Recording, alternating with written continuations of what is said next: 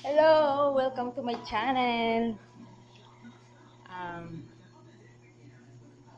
mega mega shout out pala sa mga tita ko sa Canada.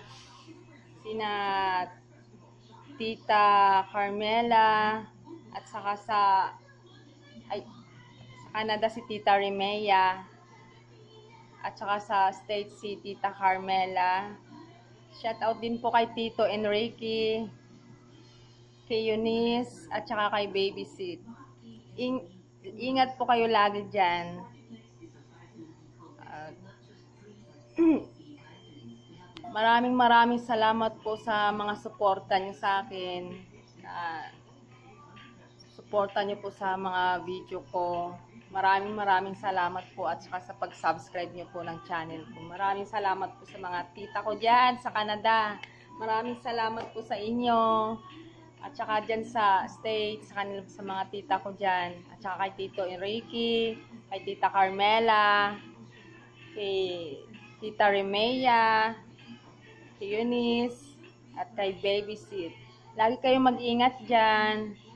God bless all. At saka kay Jack and Nell, congrats sa'yo. At muni ka na. At saka kay Captain Paul. Wow, congrats sa inyo. Congrats, congrats. Shout out sa inyong dalawa. Happy ako na namuni na kayong dalawa. Sana kami din sunod. Sunod muna si Stephanie. Ang saya-saya ko para sa inyo. Congrats! Oh guys, pupunutin ko yung isang puno ng kamuting kahoy.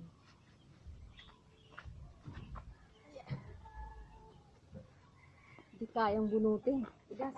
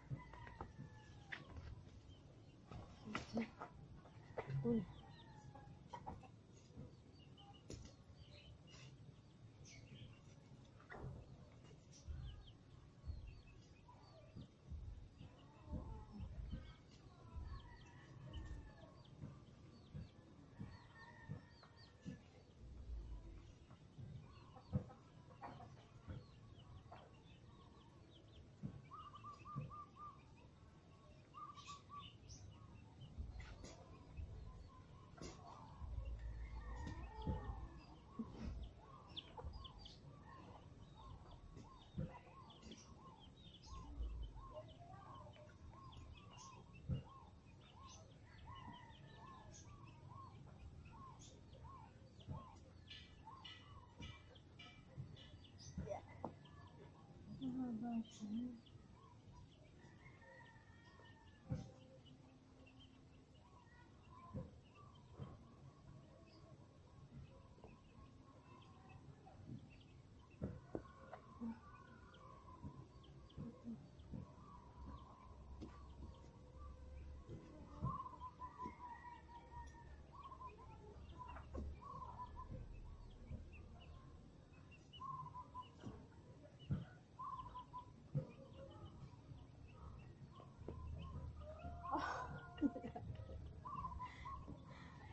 Siya. Karugtong niya. Putol.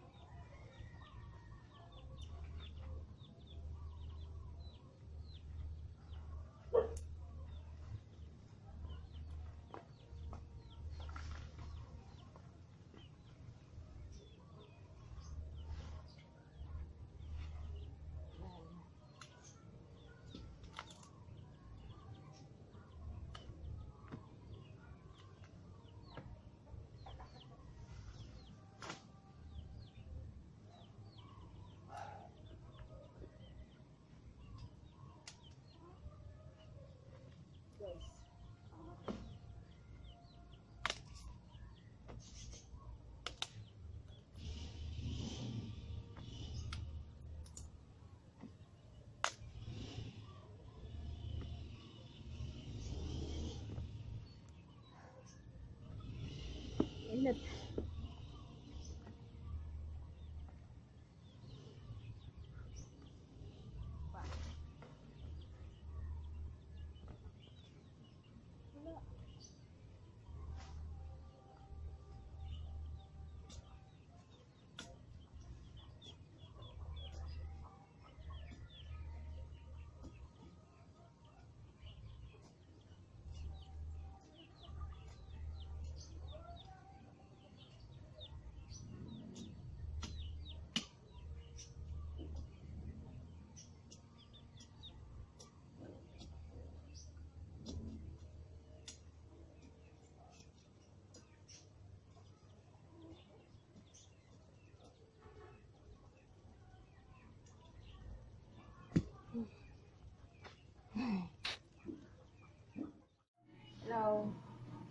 Gagawa ako ng suman. Ito. Sir Celso, mag gagawa na lang ako ng suman kasi bebenta ko para may pang may, pang-load ako.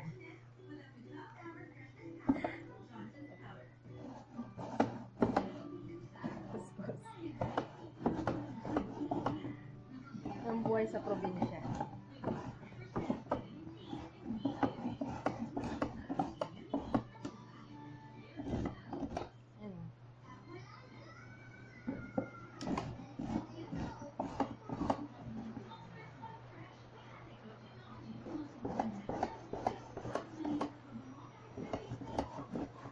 Titinda ko to bukas.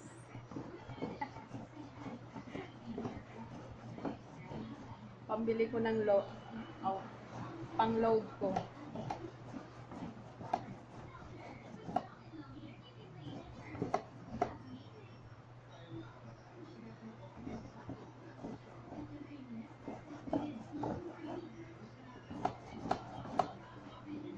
Ngayon mo na ito lulutuin, iinitin na ng bukas.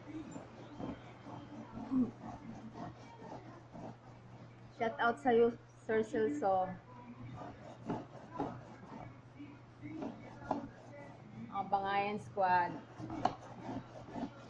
Ito, napupuspos ako.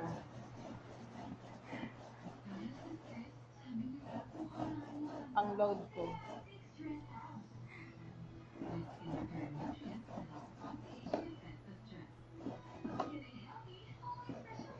Kamoteng kahoy.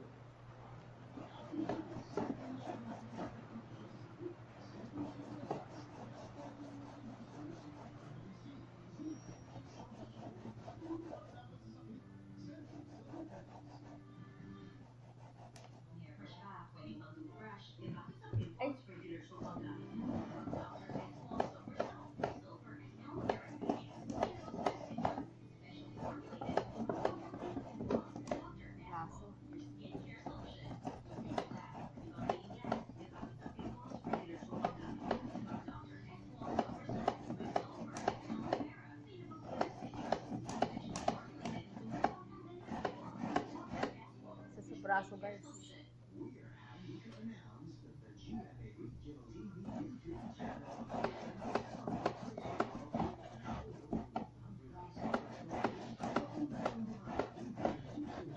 Naghihirap.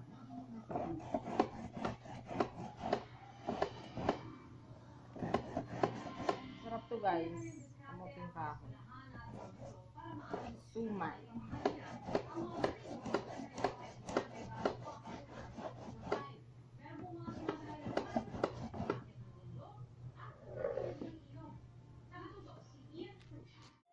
Guys, ito na.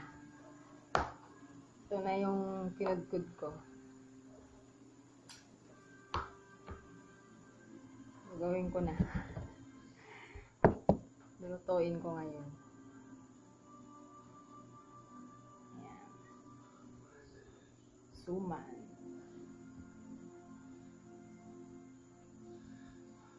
Sir Celso. Ito na. Gusto mo Sir Celso?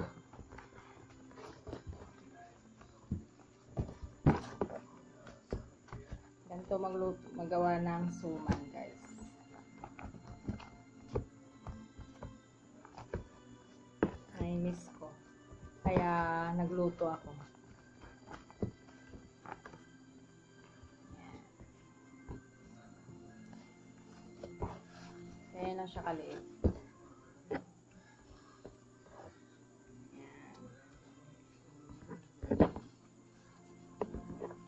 Nakakamiss yung ganito nung sa probinsya. Tapos,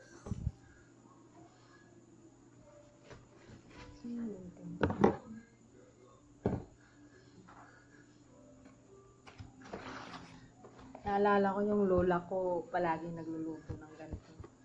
Tuwing umaga kumakain, ah, almusal namin, suman.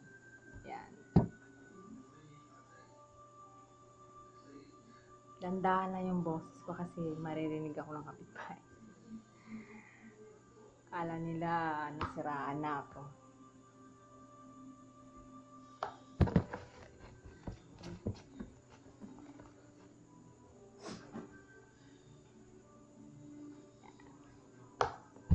Yan guys.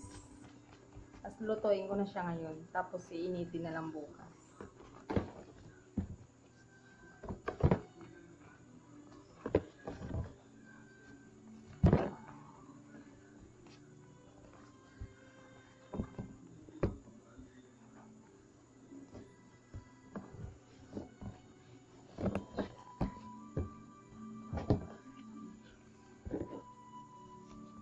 Ko na siya.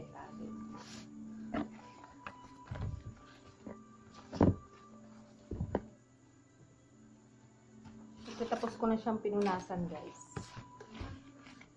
Bago ko siya ininit sa apoy. Aw, pagkatapos ko ininit sa apoy, pinunasan ko yung dahon.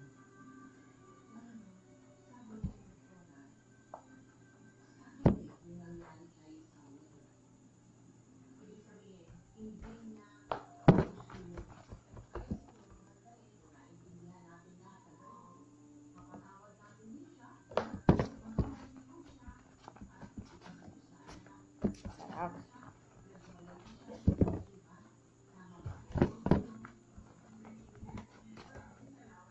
Ito yung almusal namin bukas.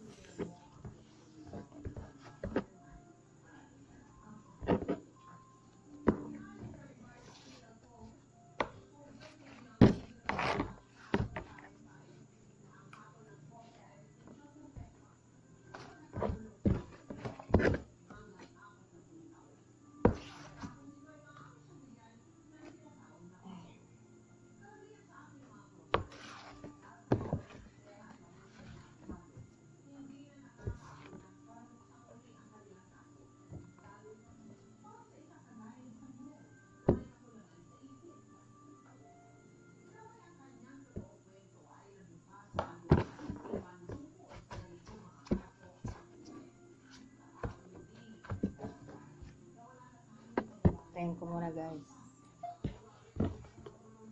Dami pa guys.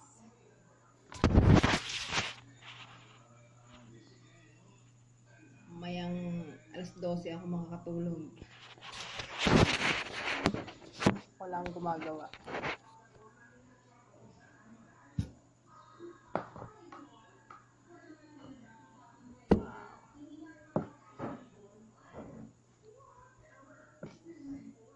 Ganito lang kasimple gawin. Pero, mahirap lang yung pagkudkod niya.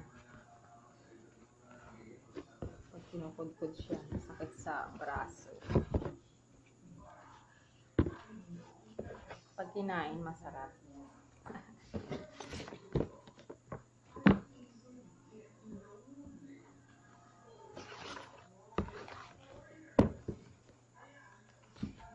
Kailangan pag ano, pag pambalot yung dahon, ah, iniinit muna siya para hindi siya mapupunit. Tapos, pupunasan ng basahan. Tapos, saka lagyan ng magbalot na.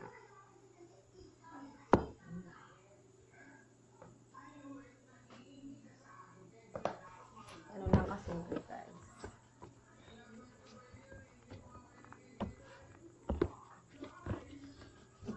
Ano siya?